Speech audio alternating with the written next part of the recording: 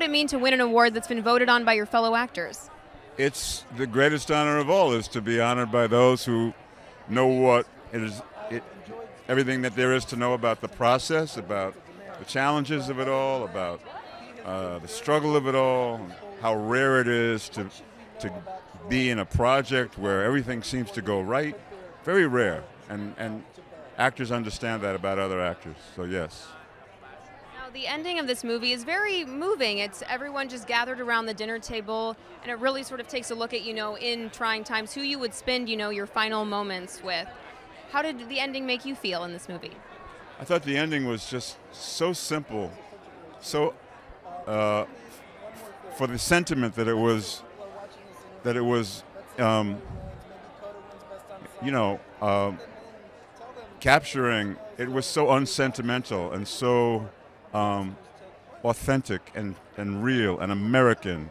And um, God, I think Adam McKay, I think he made two movies. I think he made a satire, which is the first 80% of it, and then the last 20% where we're really just like in Frank Capra land, you know, and it's just so heartfelt and beautiful.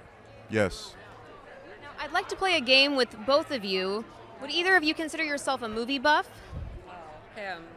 Well, I think you might know. I think you might know more than you think. So we're going to play it together. It's called Cast List Quiz, and I'm going to name two nominees tonight, and you have to name the past project they were in. Oh, I'm gonna make such an idiot. No, you're going to do so great. We'll try it, and we'll see how it goes. Are you ready? I watched The Real Housewives. Okay. First one Kate Winslet and Leonardo DiCaprio. Titanic. Ding ding ding ding.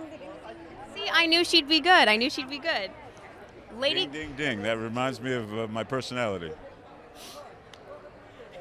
Okay. Lady Gaga and Bradley Cooper. A Star is Born. I am schooling your ass. I don't get a chance am over here. I'm schooling you. You have to hit the buzzer. It's a competition, and she's winning. Yeah, I'm winning, and that's sad because you spend Another your shot? life- Is that, or is that it? Well, this one, this next one, y- you might know too. Reese Witherspoon and Jennifer Coolidge. Uh, uh, um, Pink. Um, yeah, I'm, I'm obsessed with Jennifer. You know, when she goes back to law school. Um, Your hair color. yeah, yeah, yeah. Blonde, legally blonde. You got it. You got it. All right, we'll try. I do. We'll try one I more. haven't, I haven't missed one yet. Exactly. And we'll try one more. Jennifer Aniston and Jason Sudeikis.